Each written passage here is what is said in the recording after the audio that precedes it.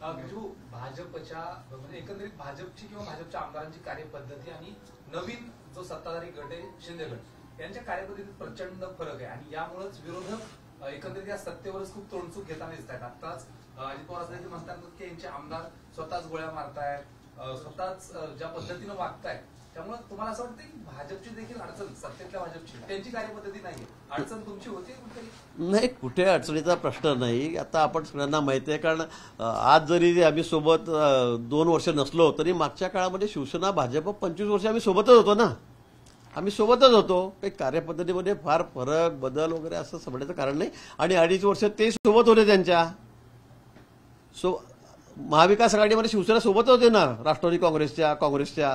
त्यामुळे मला वाटतं असं संबंधाचं कुठलंही कारण नाही. काही ठिकाणामध्ये काही ठिकाणी अपवाद परिस्थितीमध्ये काही घटना घडतात. पण तो निश्चित त्याही आपण थोड्या त्याच्यावरही संयम ठेवला पाहिजे त्याही थांबवल्या पाहिजेत असं मला या ठिकाणी वाटतं. परंतु अडचण वगैरे कुठे राज्य चालवताना अशा विषयाची होते असं कुठेही मला वाटत नाही. एबीपी माझा. उघडा डोळे बघा नीट.